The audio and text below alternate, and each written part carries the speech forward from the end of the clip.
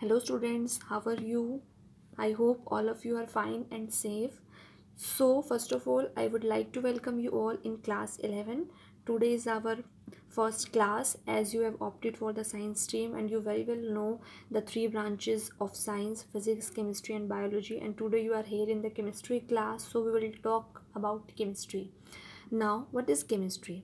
Chemistry is the branch of science which deals with the study of composition properties and structures of matter now what is matter anything that occupies space and have mass is known as matter तो आप chemistry में किसकी study करते हैं matter की composition उसकी properties और structure के बारे में स्टडी करते हैं नाउ कोई लेट से आपके पास कोई कंपाउंड है तो सबसे पहले आप उसका स्ट्रक्चर देखेंगे कि कैसा स्ट्रक्चर है, फिर उसके कंपोजिशन देखेंगे कि वो बना किससे है, फिर उसकी प्रॉपर्टीज़ को चेक करेंगे, उसकी physical properties chemical properties okay now and the changes the matter undergoes under different conditions and the laws which govern this changes अब अंडर डिफरेंट कंडीशंस मैटर क्या क्या चेंजेस जा रहा है, उसको भी आप देखेंगे। For example solid changes into the liquid liquid changes into the gas solid को जब आप हीट करते हैं तो उसके स्टेट चेंज हो जाते हैं लिक्विड में। लिक्विड को आप फर्दर हीट करते हैं तो उसके स्टेट चेंज हो जाती है गैस में। तो अंडर द डिफरेंट कंडीशंस जो मैटर की स्टेट है, वो भी क्या हो रही है? चेंज हो रही है।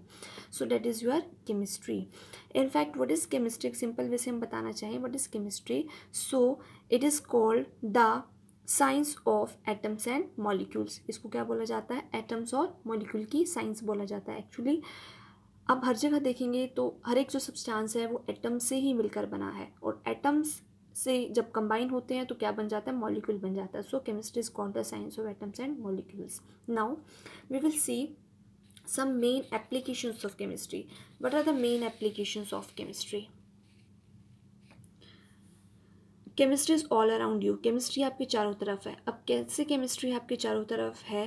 द एयर यू ब्रीथ जो आप एयर ब्रीथ करते हो एयर किसका मिक्सचर होती है? गैसेस का मिक्सचर होती है। गैसेस लाइक ऑक्सीजन हो गया नाइट्रोजन हो गया हाइड्रोजन हो गया। बहुत सारी गैसेस हैं। तो और गैसेस में क्या है? एटम्स से बने हैं हमारी एलिमेंट से बनी है।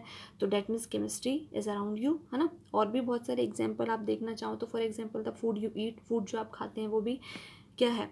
आपका किस formula C six H twelve O six okay so तो it is the simplest carbohydrate that is your glucose जिसको आप एज ए फ़ूड लेते हैं। तो ये भी हमारा क्या है? Chemistry so lot of things are they are for example other examples are also they are for example the soap that you are using ठीक है?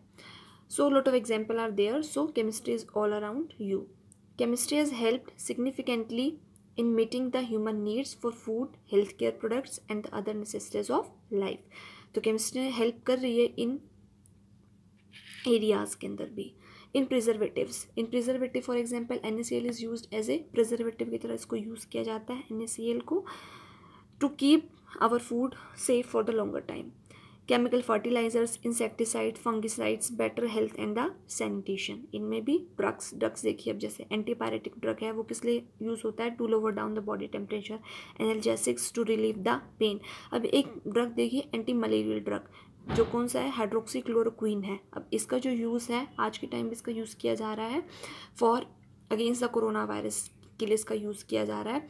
एक्चुअली स्मॉल स्टडीज़ के ऊपर ही हम कह सकते हैं कि ये बेटर प्रूव हो रहा है but not on the larger studies तो अब यहाँ पर भी अब देखिए केमिस्ट्री का यूज़ हो रहा है। एंटी मलेरियल ड्रग है जो against the corona virus use किया जा रहा है hydroxy chloroquine now there are 14 units in your class 11 syllabus. So, first unit is your some basic concepts of chemistry.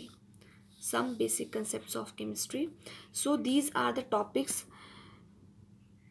first is your general introduction second is your nature of matter third is your laws of chemical combination fourth dalton's atomic theory concept of elements atoms molecules ये आप class 9 में सब study कर चुके हैं yes atoms and molecules atomic and the molecular masses mole concept and the molar mass percentage composition empirical and the molecular formula chemical reactions stoichiometry and the calculation based on stoichiometry so these are the topics in your first unit we'll start from scratch and one by one I will cover these topics.